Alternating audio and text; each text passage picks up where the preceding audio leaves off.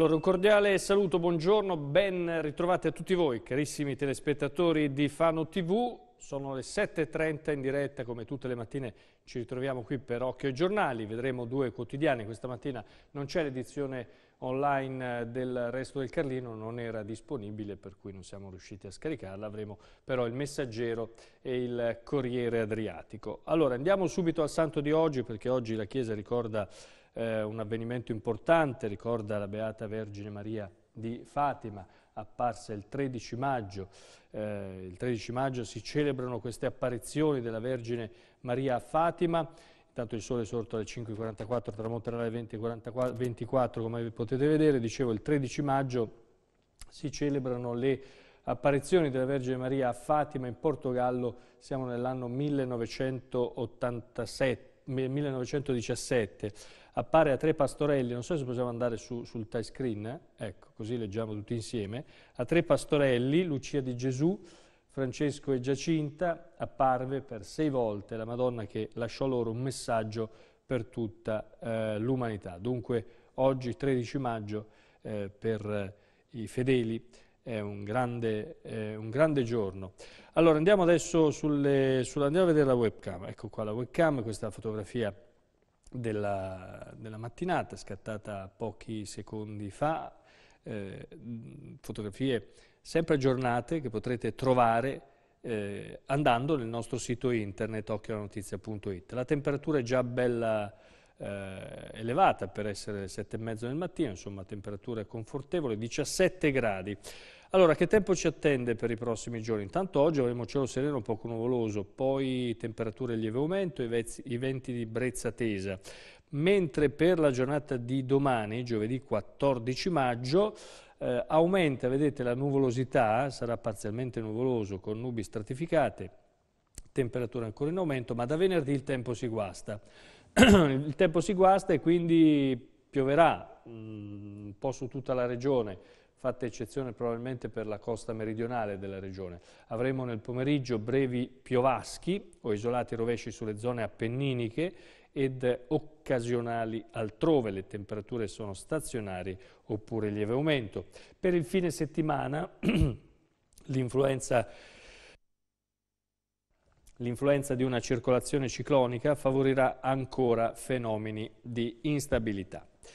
Allora adesso andiamo a vedere i giornali, cominciamo subito da quella vicenda de, due, dei due eh, campani che avrebbero eh, chiesto soldi ai titolari della eh, Profilglass, tentativo di estorsione, questa era la notizia che era apparsa ieri in anteprima assoluta sul resto del Carlino. Oggi, come è giusto che sia, anche gli altri quotidiani eh, tornano eh, su questa storia e facendo bene il loro mestiere, hanno eh, sentito gli avvocati di, due, eh, di, queste due persone, di questi due campani, si sono un po' fatti raccontare eh, che cosa, eh, che cosa hanno, avrebbero fatto questi due loro assistiti.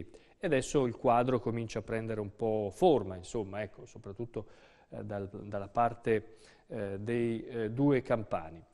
Il messaggero, estorsione alla Profilglass, i legali dicono nessun ricatto. Come sono andate le cose? Più o meno, secondo ovviamente, eh, secondo gli avvocati e secondo le persone arrestate.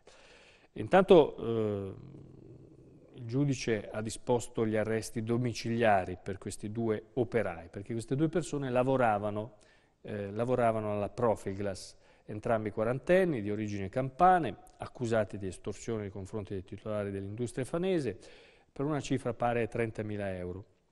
E la tesi che sostiene l'avvocato, per esempio, Mauro Mengucci, uno dei due legali, sarebbe eh, confermata dal fatto che eh, non ci sarebbe stata insomma, nessun, nessuna intercettazione ambientale, dove si capisce che c'è eh, o che, che, che, avevano intenzione di estorcere del denaro.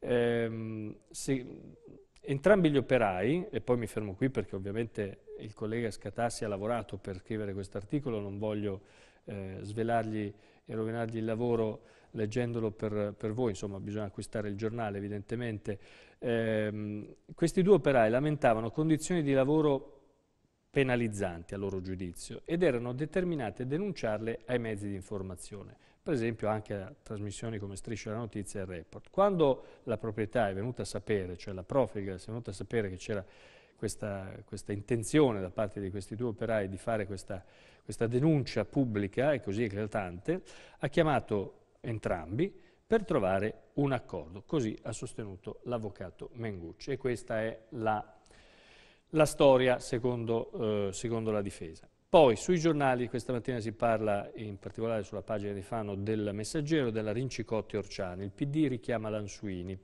Uh, la rappresentante dei 5 Stelle replica una farsa, una, la maggioranza ha fatto mancare il numero legale. Poi ieri c'è stato eh, c'è stata la visita della, della, Meloni, di Giorgia Meloni di Forza Italia, eh, scusate, di Fratelli d'Italia Alleanza Nazionale, Giorgia Meloni a Fano, che si è scagliata contro Forza Italia, di, l'ha definita l'utile idiota della sinistra.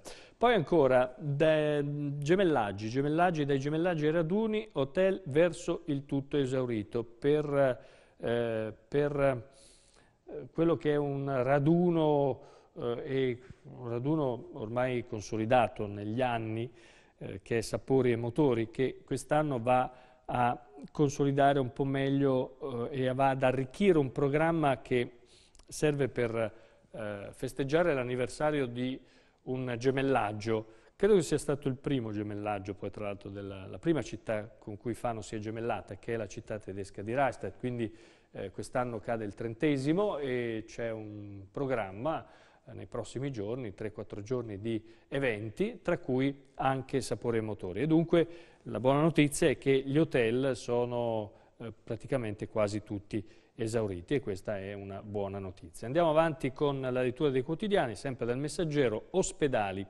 Arriva De Ales, il eh, suo primo problema è subito un cantiere. Nominato il nuovo direttore sanitario di Marche Nord, mentre la dialisi deve traslocare da Pesaro a Fano per i lavori.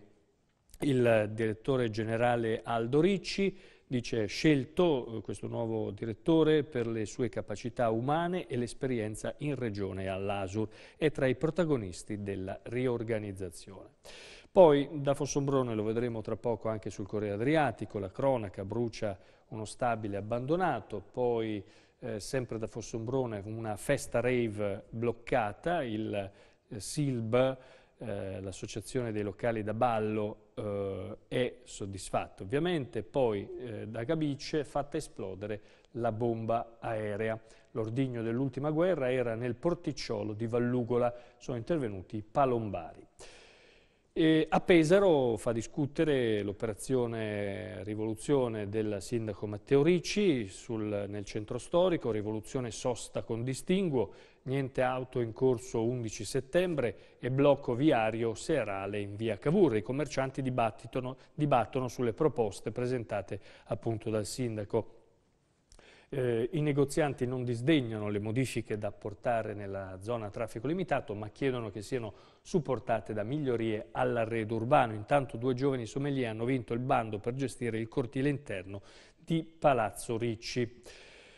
Eh, sempre da Pesaro, auto, il mercato tira e la motorizzazione rimane senza targhe. Un ritardo da parte del Ministero e del Poligrafico di Foggia insieme al boom di richieste. Quindi anche qui, se vogliamo, è un segnale, una buona notizia. Insomma, le auto, eh, quando si torna a vendere le auto, questo va, va, preso come un indicatore, come un buon segnale. Insomma, vuol dire che qualcosina eh, comincia a muoversi, l'economia forse comincia a girare, cominciamo a crederci, speriamo. Fa, Intanto, ecco, eh, eh, le targhe eh, sono esaurite, eh, esaurite anche la scorta di placche, insomma, quindi eh, l'ingegner Cardinale dice le avevamo ordinate da oltre un mese, eh, arriveranno molto presto, intanto sono stati dati dei permessi provvisori.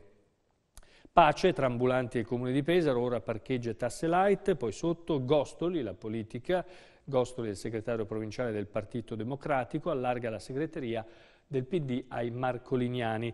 La gestione condivisa e per gli elettori è un triplice segnale. Entrano nella rosa eh, Gilberto Fattori, Marco Pompili e poi le due vice Margherita Pedinelli, sindaco di San Costanzo, e Rosetta Fulvi, la fanese Rosetta Fulvi.